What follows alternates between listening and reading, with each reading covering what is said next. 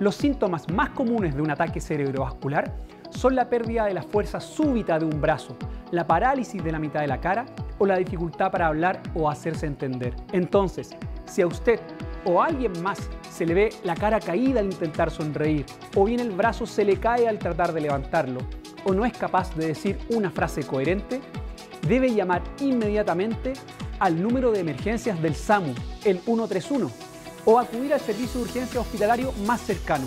En caso de un ataque cerebrovascular, cada minuto cuenta. Por eso, en caso de sospecha, actúe con velocidad.